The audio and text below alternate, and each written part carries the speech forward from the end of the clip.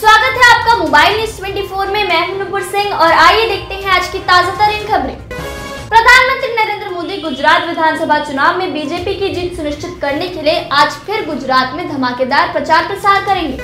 रक्षा मंत्री राजनाथ सिंह आसियान देशों के रक्षा मंत्रियों की दो दिवसीय बैठक में भाग लेने के लिए कम्बोडिया के दौरे पर गए हुए हैं, जहाँ आज वे अंतर्राष्ट्रीय नेताओं की बैठक को संबोधित करेंगे। ज्ञानवापी विवाद से जुड़े मामले में इलाहाबाद हाईकोर्ट में आज भी जारी रहेगी सुनवाई। आज एनडीटीवी के मालिक बनेंगे गौतम अडानी। अडानी ग्रुप ने अगस्त में एनडीटीवी की उनतीस दशमलव एक आठ प्रतिशत हिस्सेदारी खरीदी थी। कांग्रेस महासचिव प्रियंका गांधी वाड्रा आज से मध्य प्रदेश में चार दिनों के लिए भारत जोड़ो यात्रा में शामिल होंगी। पार्टी महासचिव जयराम रमेश ने ट्वीट कर यह जानकारी दी। एमसीडी चुनाव को लेकर आम आदमी पार्टी आज से 2 दिसंबर तक पूरी दिल्ली में हज़ार नुक्कड़ सभा करेगी। इस दौरान आपके सभी स्टार प्रचारक और विधायक भी प्रचार करते नज़र आएँगे। पश्चिम बंगाल पंचायत चुनाव के लिए भाजपा नेता मिथुन चक्रवर्ती आज भाजपा के लिए आसनसोल में प्रचार करेंगे। गौरतलब है कि हाल ही में उन्हें भाजपा कोर कमेटी का सदस्य भी बनाया गया है। बंगाल में उनका पंचायत चुनाव के लिए प्रचार प्रसार काफ़ी अहम होने वाला है। बंगाल के नव नियुक्त स्थायी राज्यपाल doctor C V Ananda Bose आज राज्यपाल पद की शपथ ले सकते हैं। सूत्रों से मिली जानकारी के अनुसार राज्य सरकार की ओर से उन्हें दो तिथियाँ विकल्प के रूप में दी गई थी। इसमें पहली डेट 21 नवंबर और 23 नवंबर थी। हालाँकि उन्होंने कहा था कि वो अगले हफ़्ते यानी 25 या 26 नवंबर को राज्यपाल पद की शपथ लेंगे।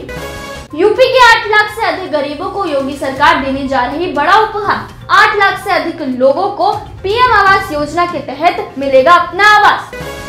में दो विदेशी राइफल समेत 300 से ज़्यादा कारतूस बरामद। अपराधियों ने घर में छिपा कर रखे थे हथियार। पंजाब में गन कल्चर पर बड़ी सख्ती। पुलिस ने शुरू किया नब्बे दिनों का अभियान। अब तक आठ सौ सत्तानवे लाइसेंस हुए रद्द 324 हुए सस्पेंड। सोनाली फोगाट मामले में सीबीआई ने दाखिल की पहली चार्जशीट। सुधीर सुखविंदर पर जबरन ड्रग्स देने का लगा आरोप। अमेरिकन डॉक्टर को पसंद आई भारतीय संस्कृति। उत्तराखंड के युवक से हिंदू रीति रिवाज से रचाई शादी। झारखंड नगर निकाय चुनाव गैर दलीय होगा, लेकिन इसमें भी आदर्श आचार संहिता के प्राविधानों का सख्ती से अनुपालन कराया जाएगा। साथ ही मंत्रियों और नेताओं पर कई पाबंदी लागू की जाएँगी। एमपी के धार ज़िले में तिहरी हत्याकांड से हड़कंप, पत्नी और दो बेटियों की हत्या कर शख्स फरार। जम्मू कश्मीर के पुलिस महानिदेशक दिलबाग सिंह ने कहा कि केंद्र शासित प्रदेश जम्मू कश्मीर में आतंकवाद अब अपनी अंतिम साँसें गिन रहा है। भाजपा विधायक अग्निमित्रा का कहा, दिसंबर में बंगाल में होगा बड़ा खेला। तीस से ज़्यादा टीएमसी विधायक है भाजपा के संपर्क में। आम आदमी पार्टी के नेता अरविंद केजरीवाल ने गुजरात के मुख्यमंत्री भूपेंद्र पटेल पर निशाना साधते हुए कहा कि पटेल कठपुतली मुख्यमंत्री हैं, जो अपने सहायक तक को नहीं बदल सकते। राजस्थान में आंतरिक खिंचतान से जूझ रही कांग्रेस सरकार के सामने अब नई मुश्किल उत्पन्न हुई है।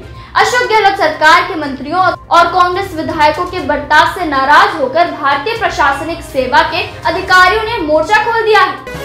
दिलीप मिश्रा की रिपोर्ट, सुल्तानपुर में खाकी के साथ छात्र छात्राएँ ने यातायात जागरूकता रैली निकालकर हादसों को नियंत्रित करने का आह्वान किया। प्रवीण कुमार की रिपोर्ट, मोहब्बा के प्रांतीय अनाथालय में बीजेपी सांसद सहित चार हस्तियों को शंकर लाल मल्होत्रा सम्मान से सम्मानित किया गया।